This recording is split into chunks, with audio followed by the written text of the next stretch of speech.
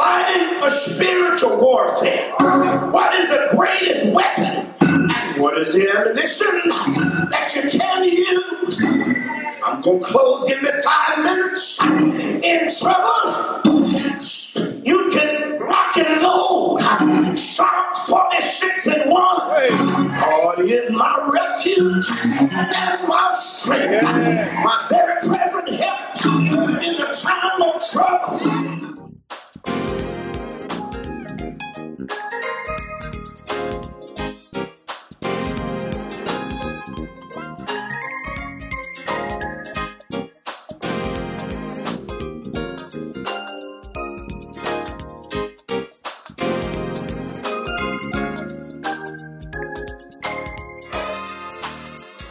Second Corinthians chapter 10 and verses 3 through 5 that have been read in your presence. For though we walk in the flesh, we do not war according to the flesh. For the weapons of our warfare are not carnal, but mighty in God for pulling down strongholds, casting down arguments and every high thing that exalts itself against the knowledge of God, bringing every thought into captivity to obey or to the obedience of Christ. Amen. I want to talk about choose your weapon wisely. Right. Choose your weapon wisely. We're living in a climate now when gun issue is certainly a problem. And those who some time ago felt that the nation's laws on sales of arms should be stricter, it dropped from 75% to about 51%.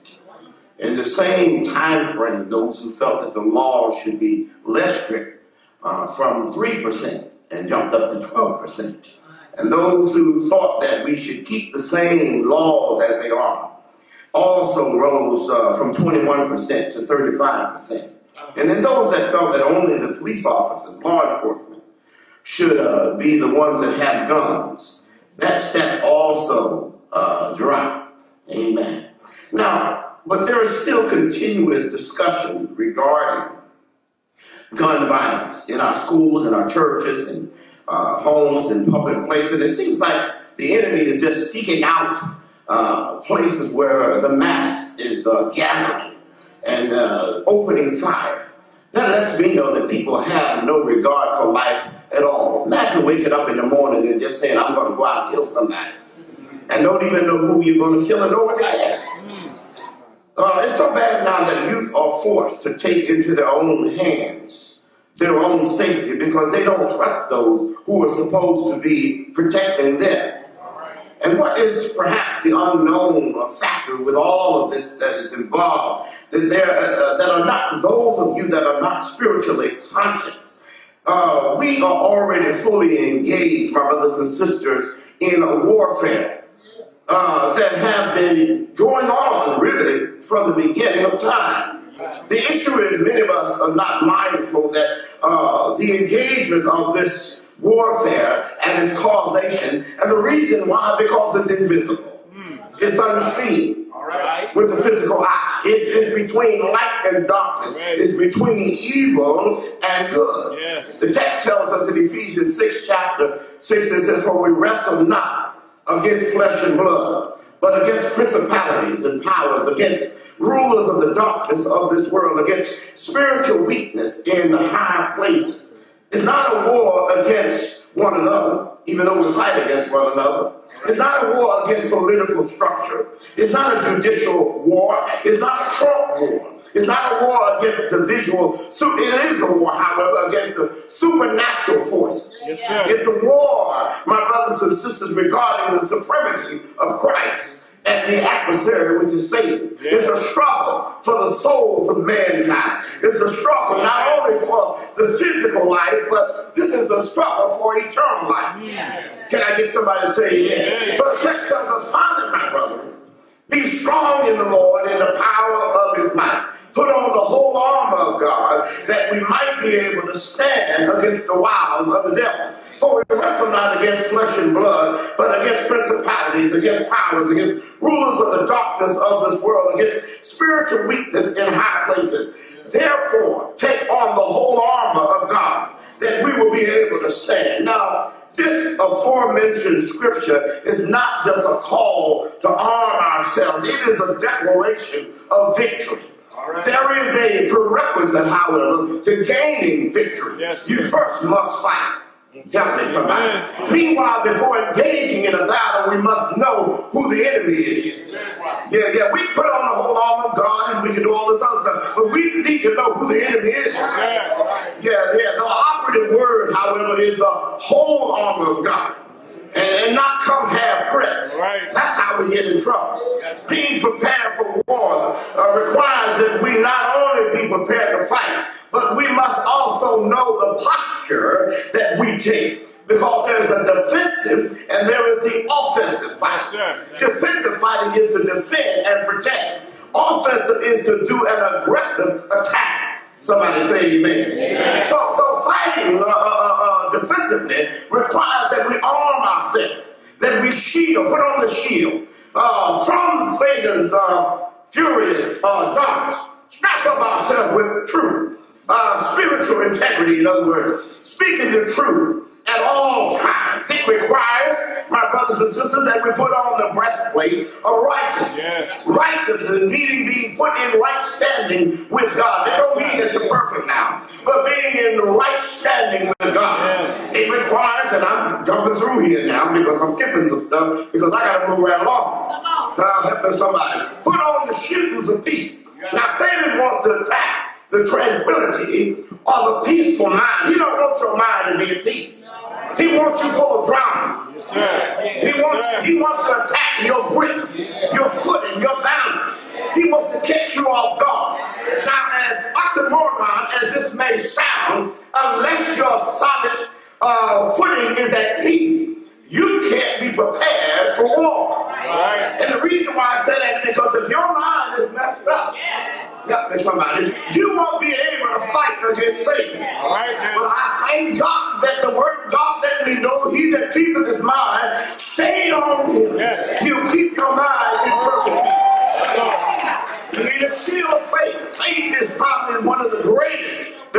weapons. You cannot uh, uh, uh afford, my brothers and sisters, to demonstrate unwaveringness. You got to have faith that will be, enable you to conquer any and everything. And when your faith gets weak, you need to conquer your, your, your fears with faith. Listen, listen, listen. My brothers and sisters, defensive weapons to shield from these satanic attacks. Yes, the need for offensive weapon, however, as I said before, is launch an attack against Satan. If you read in the Old Testament, many of the kings and rulers and warriors, they were charged to go out and to attack and keep no trophies, keep no hostages. There comes a time when you need to annihilate Satan from your presence. You can't play with him.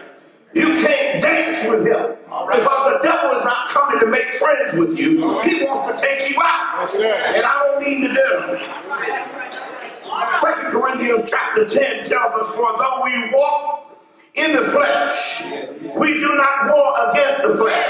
For the weapons of our warfare are not carnal, but mighty in God, pulling down strongholds. Now, I'm beginning to believe that for some reason, our society is confronted with excessive mental health issues. Yeah. Depression, bipolar, yeah. you name it. Literally attempting to uh, mentally shut down and avoid and run away from the realities of society. We cannot ignore the fact that our, war, our world is full of all kinds of problems. Yes. We must, and uh, my brothers and sisters, understand that we can't ignore, we can't evade the problems. In reality, we cannot shelter ourselves from society and the ills because we're in society. So there are going to be some things that happen to you as believers as the same as it happened to those as in the world. Right. Am I right about it? Yeah. But one thing I need you to be under, to understand that we can properly arm ourselves. We can't do that. For the scripture lets us know, first and foremost, uh, that there is an enemy, a very powerful enemy. Don't underestimate the devil. even though he has to get power, get authority from Christ to attack you, don't underestimate him when he comes at you. Yes, sir. Secondly, there is a proper Christian attack. Help me, somebody. There is a proper way in which the Christian must attack. You need to be mindful, however, that there is a chief rule when you come into warfare. Uh-huh. Did you understand that? There's a chief rule when you come into warfare. First and foremost, you must, and I said this before, know your enemy. Yeah. A soldier can never be successful if he does not know his enemy. And the reason why you need to know him, because you need to know his tactics. All right, all right. Help me, somebody. Why do y'all watch football movies or, or what coaches watch movies of other teams and other players? Yes, sir. Am I in the ballpark? Right. I don't know about the football, but I believe they watch. Go. Why do they do that? There's a reason for that. Help me, somebody. They won't know what you're coming up against. Need to know what you're coming up against when you call yourself trying to fight sin. The Bible tells us casting down uh, uh, arguments, every high thing that exalts itself against the knowledge of God, bringing these things into captivity. Now, this verse reveals war engagement known as what we call apologetics. In other words, Yeah. uh, being able to defend Yeah. what you believe in. Amen. It has a twofold mission. We defend our faith by demolishing intellectual strongholds, the difficult and the dangerous mission of attacking and degrading all of the uh, opposition, or should I say, those that oppose Christ. Yes. Yes, and there's a lot of folks out here opposing everything there is that pertains to Christ. Amen. We defend by bringing every one of these thoughts into captivity and into the obedience of Christ. When the devil tries to tell you that God is not real, you need to attack that Yes, thing sir. and bring it into subjection. Yes, sir. And let them know the word of God said, A fool has said in his heart, There is no God. Somebody ought to shout amen. Amen. We must never fail to understand the kind of war that we're engaged and the kind of weapons that is effective. We're not wrestling against the flesh. Neither is there war, or a corner war, or corner weapon, should I say. For the weapons of our warfare are not carnal, right, but mighty in God, Yeah. pulling down strongholds. The problem being is that most believers fail to use the primary weapons that God has given us to win the victory. What are some of these weapons? First of all, is prayer. Prayer. How many of you know what prayer is? Amen. The word of God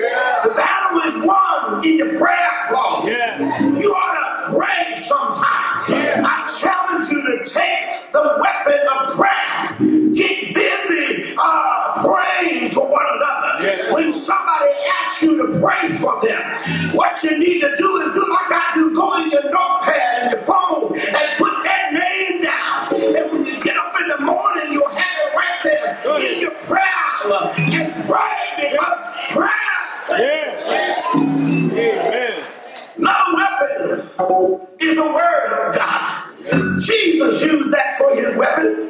Y'all know when he was in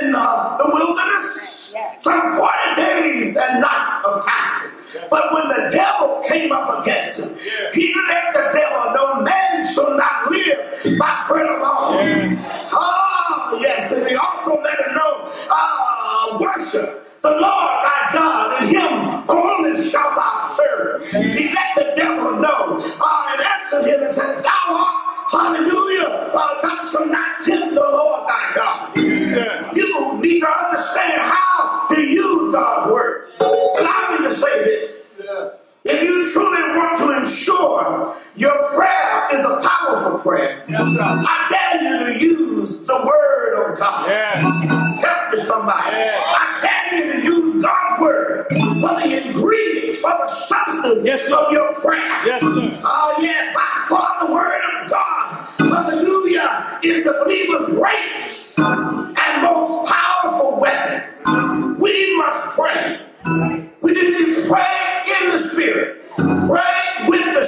Oh,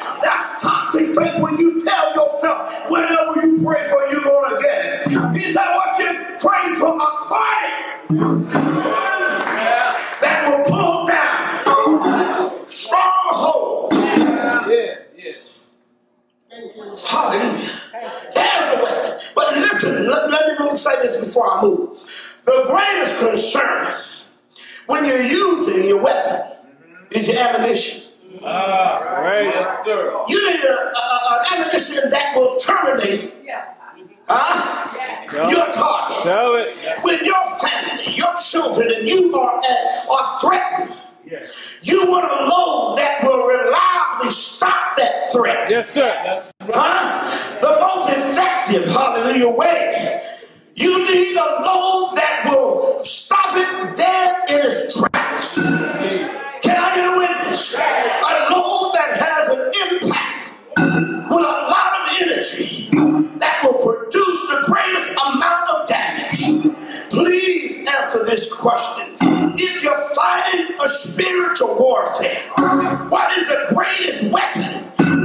is the ammunition that you can use. I'm gonna close, give me five minutes. In trouble, you can rock and load. Psalm 46 and 1. God is my refuge and my strength, my very present help in the time of trouble. When you need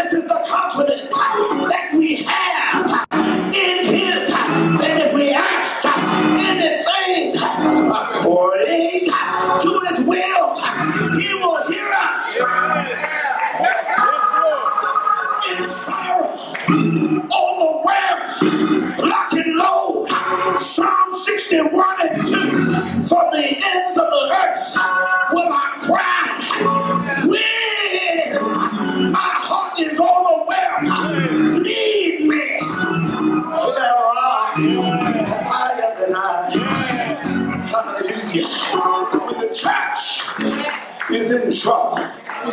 Look at First Chronicles chapter 7 and verse twenty. All y'all know that. Say it with me. If my people, which are called by my name, heart with humble pray, seek my face, turn from the wicked way.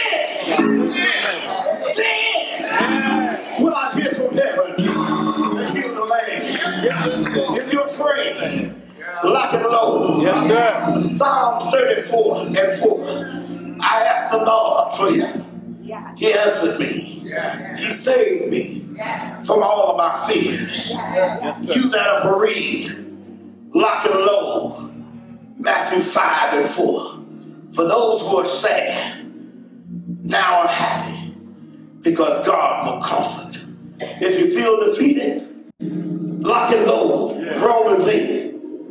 38 39. For I am persuaded that neither death nor life, nor angels, nor principalities, nor powers, nor things present, things to come, nor height, nor depth, nor any creature shall be able to separate me from the love of God. Maybe there's somebody who feels discouraged.